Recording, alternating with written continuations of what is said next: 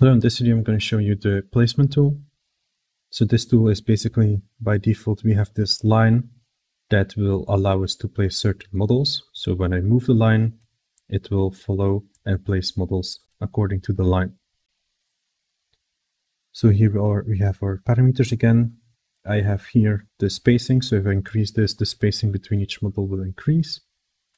We also have here options for the rotation. So let's say we can here have a target. So I can have X or Z to have different uh, directions. But most of the time you might most of the time you might use the y-axis since that is the up axis in continue. We also have here a roll. We can roll and twist some of the placements to get some more randomness in there. Then further we have also scale. So at the moment nothing is really happening because the minimum and maximum scale is set to 1. So if I would play around with this, you can see that there is some scale variation. We also have here scale along curve.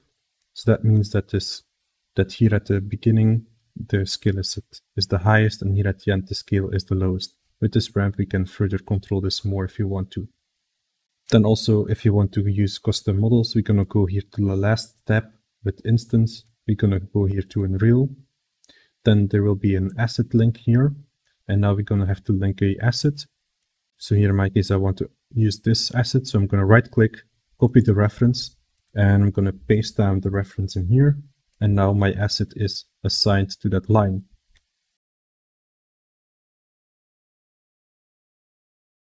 Also useful option here in the rotation is always look up. And this will actually force the models to always face in the up direction. Otherwise, it's sort of like facing based on this line. So in some cases, you're, you're not always wanted.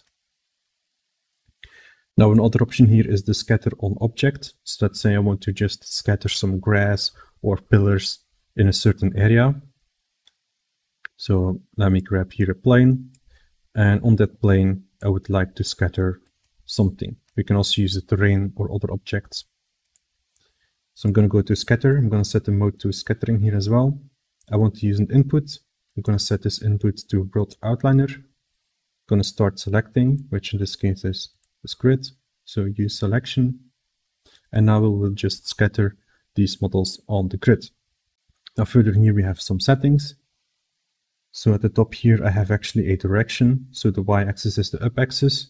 So this means that if for example my plane was a sphere, I would only place objects on top of the sphere and not at the bottom. Here we also have a density control, so increasing this will create more of them.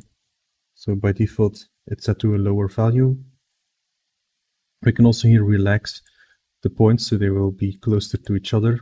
Then we also have here rotation, so I can add random rotations. So let's say I want to add random rotations in the y-axis. So let's increase this. And now we can see we have some randomness there. You can also use the other axis as well, and we have a seed for this as well.